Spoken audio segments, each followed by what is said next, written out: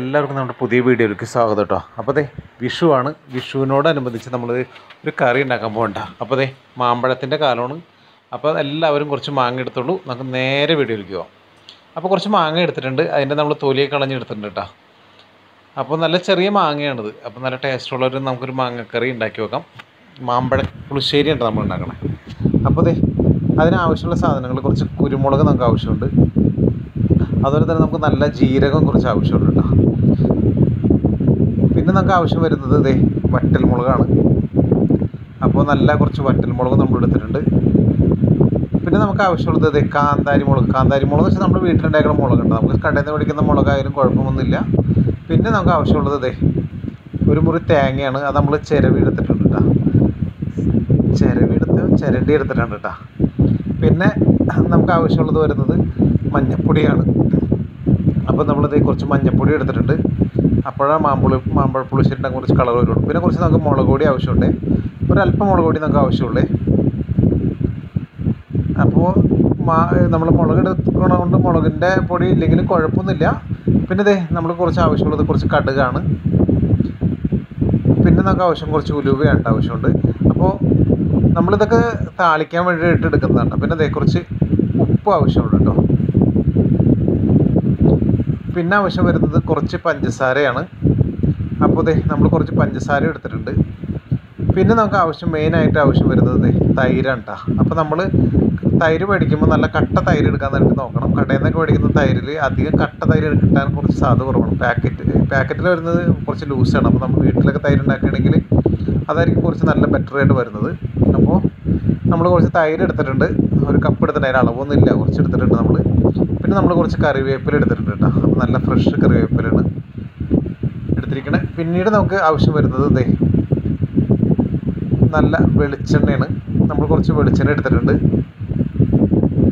അപ്പോൾ ഈ മാമ്പഴ പുളിശ്ശേരി ഉണ്ടാക്കാനായിട്ട് എല്ലാവർക്കും അറിയാമെന്ന് തോന്നുന്നുണ്ട്. അറിയാത്ത ആൾക്കാർക്ക് വേണ്ടി മാത്രമുള്ളതാണ് ഈ വീഡിയോ. അപ്പോൾ നമ്മൾ തേങ്ങയിൽ കുരുമുളകും ജീരകവും ഒക്കെ ചേർത്ത് അല്പം വെള്ളം ഒഴിച്ചിട്ട് നമ്മൾ നല്ല രീതിയിൽ അത് അരച്ചെടുത്തിട്ടുണ്ട് കേട്ടോ. അപ്പോൾ അരച്ചെടുക്കുമ്പോൾ ഒരുപാട് വെള്ളം ഒഴിക്കാൻ ആരും ചെയ്യരുത്. പിന്നെ നമ്മൾ ആ പച്ചമുളക് എടുത്തിട്ടുണ്ടായിരുന്നില്ലേ? അതിനെ നമ്മൾ നന്നായിട്ട് അരച്ചെടുത്തിട്ടുണ്ട് കേട്ടോ അതും കുറച്ച് വെള്ളം ഒഴിച്ച് നമ്മൾ അരച്ചെടുത്തിരിക്കണം കേട്ടോ ഒരുപാട് വെള്ളം ഒഴിച്ച് അരക്കരുത്. ഇനി നമുക്ക് കറി വെക്കുന്നത് എങ്ങനെ നോക്കാം. അപ്പോൾ അതെ നമ്മൾ കലത്തിൽ ഒരു സ്റ്റീലിന്റെ പാത്രത്തിലാണ് വെക്കണം. നമ്മൾ സാധാരണ മാമ്പഴ പുളിശ്ശേരിയൊക്കെ വെക്കുമ്പോൾ മൺകലത്തിൽ വെക്കണം കേട്ടോ അപ്പോൾ നമുക്ക് മൺകലത്തിന്റെ അങ്ങനത്തെ കലം കിട്ടിയില്ല. അപ്പോൾ നമ്മളൊരു വേഗം ഒരു സ്റ്റീലിന്റെ പാത്രം എടുക്കണം ഇത്. അപ്പോൾ അത് നല്ല രീതിയിൽ കുറച്ച് വെള്ളം ഒഴിച്ചിട്ട് അതിന് വേവിക്കേണ്ടത് നമ്മൾ അതിനകത്ത് കുറച്ച് ഉപ്പിട്ട് കൊടുക്കുന്നുണ്ട് കേട്ടോ പിന്നെ നമ്മൾ ഇട്ട് കൊടുക്കാൻ പോകുന്നത് കുറച്ച് പഞ്ചസാരയാണ്. അപ്പോൾ ദേ നമ്മൾ കുറച്ച് പഞ്ചസാരയും കൂടി ഇട്ട് കൊടുക്കുന്നുണ്ട്. മാങ്ങയ്ക്ക് നല്ല മധുരം ഉണ്ടെങ്കിൽ വേണമെങ്കിൽ നമുക്ക് പഞ്ചസാര ഒഴിവാക്കാം. പക്ഷേ നമ്മുടെ മാങ്ങയ്ക്ക് അത്ര വലിയ മധുരം ഉണ്ടായിരുന്നില്ല. അപ്പോൾ അതുകൊണ്ടാണ് നമ്മൾ കുറച്ച് പഞ്ചസാരയും കൂടി ഇട്ട് കൊടുത്തേക്കണേ. ഇനി ഇതിനെ നമുക്ക് നല്ല രീതിയിൽ ഒന്ന് ഇളക്കി കൊടുത്തിട്ട് അതിനെ ഒന്ന് വേവിച്ചെടുക്കണം. അപ്പോൾ ഇനി നമുക്ക് ഇതിനകത്ത് ഇടാനുള്ളത് മഞ്ഞപ്പൊടി കേട്ടോ അപ്പോൾ ഇത് കുറച്ച് മഞ്ഞപ്പൊടി കൂടി നമുക്ക് ഇതിനകത്തേക്ക് ഇട്ട് കൊടുക്കാം. അപ്പോൾ ഇതേ നമ്മൾ കുറച്ച് മഞ്ഞപ്പൊടിയും കൂടി ഇടുന്നുണ്ട്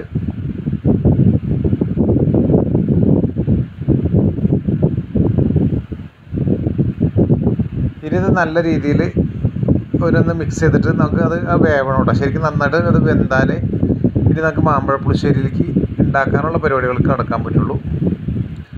അപ്പോൾ ദേ അവനവിടെ കിടന്ന് നല്ല രീതിയിൽ തിളച്ച് തിളച്ച് വേവട്ടെ. അപ്പോൾ ഇത് അധികം നമ്മൾ വെള്ളം ഒഴിച്ച് വേവിക്കരുത് കേട്ടോ കാരണം വെച്ചാൽ ഒരുപാട് മാങ്ങ മുങ്ങി കിടക്കണമെന്നുള്ള നിർബന്ധമൊന്നും ഇല്ല നമ്മളൊന്ന് ഇടയ്ക്ക് ജസ്റ്റ് ഒന്ന് ഇളക്കി കൊടുത്താൽ മതി. വളരെ സിമ്പിളായിട്ട് നമുക്ക് ഈ മാമ്പഴ പുളിശ്ശേരി ഉണ്ടാക്കാം കേട്ടോ അപ്പോൾ അറിയാത്ത ആൾക്കാർക്ക് വേണ്ടി മാത്രമുള്ളൊരു വീഡിയോ ഉണ്ടത്. എല്ലാവർക്കും മിക്ക ആൾക്കാർക്ക് അമ്മമാർക്കൊക്കെ അറിയാൻ പറ്റും. അപ്പോൾ നമ്മളിത് കുറച്ച് മുളക് പൊടി കൂടി ഇട്ട് കൊടുത്തിട്ടുണ്ട് കേട്ടോ. അപ്പോൾ നമ്മൾ നേരത്തെ ആ മുളകിന് കുറച്ച് എരിവില്ല. മറ്റേ പച്ചമുളക് നമ്മൾ എടുത്തപ്പോൾ അതിന് കുറച്ച് എരിവ് കുറവായിരിക്കും എന്ന് വിചാരിച്ചുകൊണ്ട് നമ്മൾ കുറച്ച് മുളക് പൊടി ഇട്ട് കൊടുത്തിരിക്കണേ ഇനി നല്ല രീതിയിൽ ഒന്ന് വെന്ത് കഴിഞ്ഞിട്ട് ശേഷം മാത്രമാണ് നമ്മൾ അടുത്തുള്ള സാധനങ്ങളൊക്കെ ചേർക്കുള്ളൂ കേട്ടോ അപ്പോൾ ഇതേ നമ്മുടെ മാങ്ങ നല്ല രീതിയിൽ തന്നെ വെന്ത് വരുന്നുണ്ട്. അപ്പോൾ നമുക്കിനി അടുത്ത സാധനം ചേർക്കേണ്ട സമയമായി അപ്പോൾ ഞാൻ പറഞ്ഞില്ലേ നേരത്തെ നമ്മൾ സ്റ്റീലിന്റെ പാത്രത്തിലാണ് വെച്ചിരിക്കണേ. അപ്പോൾ നമ്മൾ തേങ്ങ അരച്ച് വെച്ചിരുന്നില്ലേ അത് നമ്മൾ ചേർത്ത് കൊടുക്കേണ്ട. അപ്പോൾ ഒരുപാട് വെള്ളത്തിൽ തേങ്ങ ഒന്നും ആരും അരക്കരുത്. കുറച്ച് വെള്ളത്തിൽ മാത്രം അരച്ചെടുക്കാൻ പ്രത്യേകം ശ്രദ്ധിക്കണം. അപ്പോൾ നമുക്കൊന്ന് ഇളക്കി കൊടുത്തിട്ട് അതിനൊന്ന് വേവാനായിട്ട് വെക്കാം. നല്ല രീതിയിൽ നമ്മൾ ഇളക്കി കൊടുത്തിട്ടുണ്ട്. ഇനി അവനോട് കിടന്ന് ഒന്ന് വേവട്ടെ. അപ്പോൾ മൺകലത്തിൽ വെക്കാൻ എല്ലാവരും ശ്രദ്ധിക്കണം കേട്ടോ. നമുക്ക് മൺകലം ഇല്ലാത്തതുകൊണ്ടാണ് ഞാൻ വീണ്ടും പറയുന്നത് നമ്മൾ സ്റ്റീലിന്റെ പാത്രത്തിൽ വെച്ചത്. ഇപ്പോൾ നമ്മൾ ഒഴിച്ചു കൊടുക്കുന്നത് തൈരുണ്ടാ തൈര് ഒഴിച്ചു കൊടുക്കുമ്പോൾ നമ്മൾ ഒരു പ്രത്യേക കാര്യം ശ്രദ്ധിക്കണം. തൈര് തിളച്ച് വരരുത് കേട്ടോ കാരണം തിളച്ച് വന്നാൽ അത് പിരിഞ്ഞു പോകും അപ്പോൾ തീയൊക്കെ നമ്മൾ കുറച്ച് വെച്ചിട്ട് ജസ്റ്റ് അതിന് ഒന്ന് തിളക്കണമെങ്കിൽ മുമ്പ് നമ്മളിത് തീയൊക്കെ ഓഫ് ചെയ്യണം കേട്ടോ അപ്പോൾ നമ്മൾ ജസ്റ്റ് ഒന്ന് ഇളക്കി കൊടുത്തിട്ട് തീയൊക്കെ നമ്മളിപ്പോൾ കുറച്ച് വെച്ചിരിക്കുകയാണ്. അപ്പോൾ അതെ തിളക്കണമെങ്കിൽ മുമ്പ് തന്നെ നമ്മളിത് ഓഫ് ചെയ്തിട്ടാണ് കാരണം ഇനി വെച്ച് കഴിഞ്ഞാൽ അത് തിളയ്ക്കും. അപ്പോൾ ഇതിന്റെ കളർ നോക്കി നല്ല മഞ്ഞ കളറായില്ലേ അപ്പോൾ ഇത് തിളയ്ക്കാൻ നമ്മൾ അനുവദിക്കരുത്. അനുവദിച്ച് കഴിഞ്ഞാൽ അത് പിരിഞ്ഞു ഇനി നമുക്ക് നെക്സ്റ്റ് എന്ന് വെച്ചാൽ താളിക്കാനുള്ള പാത്രം വെക്കാം അതെ നമ്മളിപ്പോൾ ഒരു ചെറിയൊരു ചീഞ്ചട്ടി ഒരുത്തെ സാധനം വെച്ചിട്ടുണ്ട്. അപ്പോൾ നമ്മളിത് ഇനി പാത്രം വെച്ച് ചൂടായി കഴിഞ്ഞിട്ട് നമുക്ക് എണ്ണ ഒഴിച്ച് താളിക്കാനുള്ള പരിപാടികൾ നോക്കാം. അപ്പോൾ അതെ എണ്ണ നന്നായിട്ട് ചൂടായിട്ടുണ്ട്. അപ്പോൾ നമ്മളിത് എണ്ണ ഒഴിച്ച് കൊടുക്കണം വെളിച്ചെണ്ണ. ഇനി നമുക്ക് ഇതിനകത്തേക്ക് ഇടേണ്ടത് കടുകാണ് ആദ്യം. അപ്പോൾ നമ്മളിത് ആദ്യം ദേ കുറച്ച് കടുക് ഇട്ട് കൊടുക്കുകയാണ് അതെ ചൂടായിട്ടുണ്ട് കേട്ടോ. അപ്പോൾ നമ്മൾ കുറച്ച് കടുക് ഇട്ട് കൊടുത്തിട്ടുണ്ട്. കടുക് നല്ല രീതിയിൽ പൊട്ടുന്നുണ്ട് കടുക് ഇട്ടതിന് ശേഷം നമ്മൾ ഇനി ഇടുന്നത് ഉലുവേണ്ട അപ്പോൾ നമുക്ക് കുറച്ച് ഉലുവ ഇട്ട് കൊടുക്കാം. അപ്പോൾ ഇതേ ഉലുവ ഇട്ടിട്ടുണ്ട്. ഉലുവ കുറേ നേരം നമ്മളിട്ട് വേവിച്ച് കഴിഞ്ഞാൽ അത് കയ്പ്പ് ഭയങ്കര കയ്പ്പായിരിക്കും. അപ്പോൾ കുറച്ച് സമയത്തിനുള്ളിൽ തന്നെ നമ്മൾ വേപ്പിലയും കൂടി ഇട്ട് കൊടുക്കുന്നുണ്ട് കേട്ടോ അതിൽ നേരം അങ്ങനെ കരിക്കണ്ട ഉലുവ ഇട്ടിട്ട്. അപ്പോൾ നമ്മൾ വേപ്പിലയും കൂടി ഇട്ട് കൊടുത്തിട്ടുണ്ട്. ഇനി നമുക്ക് ആവശ്യമുള്ളത് വറ്റൽമുളകില്ല നമ്മൾ നേരത്തെ എടുത്ത് വെച്ച വറ്റൽമുളക് ഉണ്ടല്ലോ ഉണക്കമുളക് എന്നൊക്കെ പറയില്ലേ അതാണ്. അതും കൂടി ഇട്ട് കൊടുത്തിട്ട് നമുക്ക് അതിനെ രണ്ട് പീസായിട്ട് കട്ട് ചെയ്തിട്ടുണ്ട് നമ്മൾ ഇട്ട് കൊടുക്കണേ. ഇനി നമുക്കൊന്ന് ഇളക്കി കൊടുക്കട്ടോ. അപ്പം മുളകും ഇതൊക്കെ കൂടി ഇട്ട് കഴിഞ്ഞ് താളിച്ച് കഴിഞ്ഞാൽ നമുക്ക് നേരെ അതിനകത്തേക്ക് തൊഴിക്കേണ്ട ആവശ്യമുള്ളൂ. വേറെ പ്രത്യേകിച്ച് വലിയ പണികളൊന്നും ഇല്ല മാമ്പഴ പുളിശ്ശേരിയിൽ അപ്പോൾ അതെ ഇത് ഒരുവിധം മൂത്ത് വന്നിട്ടുണ്ട്. ഇനിയിപ്പോൾ നമുക്ക് ഇതിനകത്തെടുത്ത് മാറ്റിയിട്ട് ഇതിനകത്തെടുത്ത് മാറ്റി നേരെ നമുക്ക് മോര് കറി ആ മാമ്പഴ പുളിശ്ശേരി ഉണ്ടാക്കിയതിനകത്തേക്ക് ഒഴിച്ചു കൊടുക്കാം. ദേ ഇത്രയും പരിപാടി ഉള്ളൂ. ഇതോടെ ഒഴിച്ചതോടെ പിന്നെ പരിപാടി കഴിഞ്ഞു കേട്ടോ അപ്പോൾ ശ്രദ്ധിച്ച് ഒഴിക്കണം കേട്ടോ കൈയൊന്നും പൊള്ളരുത്.